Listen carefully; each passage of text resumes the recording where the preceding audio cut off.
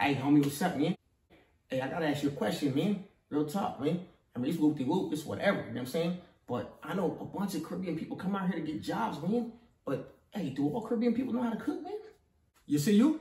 You just only ask yourself foolish question, you know. If Caribbean people could cook food, eh? Kind of stupid question is that? Let me ask you a better question. All American people stupid? Why you tripping, homie? Come on, man. I, I thought you was the homie.